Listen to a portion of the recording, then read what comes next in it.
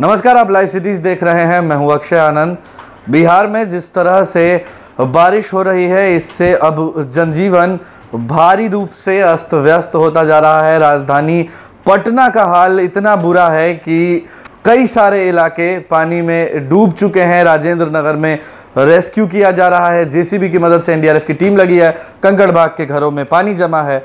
और लोगों को परेशानियाँ तो हो ही रही हैं साथ साथ इस बारिश ने व्यापारियों का भी भारी नुकसान किया है। हम आपको तस्वीरें दिखा रहे हैं हरथुआ मार्केट के एक रेमंड शोरूम की, जहाँ पर आप देखिए किस तरह शोरूम में पानी भर गया है और शोरूम में रखे वो तमाम सूट्स, शर्ट्स, जो कुछ भी वहाँ बेचे जाने थे, वहाँ बिक्री होते थे, वो सब पानी में डूब चुके हैं।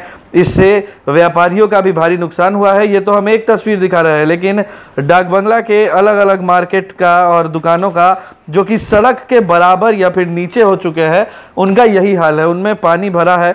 एक तस्वीर जो हम तक पहुँची है, वो हम आपको दिखा रहे हैं और पूरे पटना में अलग अलग जगह का ऐसा ही हाल है। पानी ने घरों को, दुकानों को, सबको अपने आगोश में ले लिया है और अब लोगों को भारी मुश्किल का सामना करना पड़ रहा है।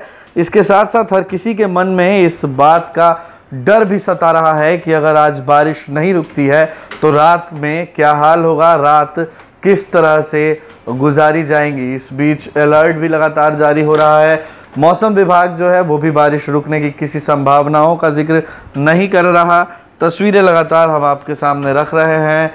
अगले दो दिन भी बारिश होने की बात है बारिश होने का अलर्ट दिखलाया जा रहा है। आपको हमने लाइव सिटीज़ के यूट्यूब चैनल पर आज सुबह से बिहार की वो हर तस्वीर दिखाई है, जहाँ जल प्रलय लोगों के जनजीवन को और मुश्किल बना रहा है। क्या सरकार, क्या नगर निगम सब दफ्तरों में पानी भरा है, विधानसभा भी जलमग्न है, मंत्रियों के आवास में भी ठेहुने तक पानी लगा है।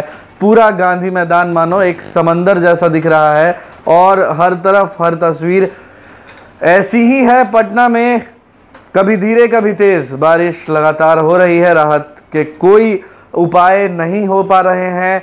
फ़िलहाल एनडीआरएफ जो है वो बचाव में लगा है, लेकिन वाटर को शहर से बाहर कैसे निकाला जाए इवैक्यूएशन प्लान क्या है? सरकार ढूँढने में लगी है। आप लाइव सिटीज़ के साथ बने रहें।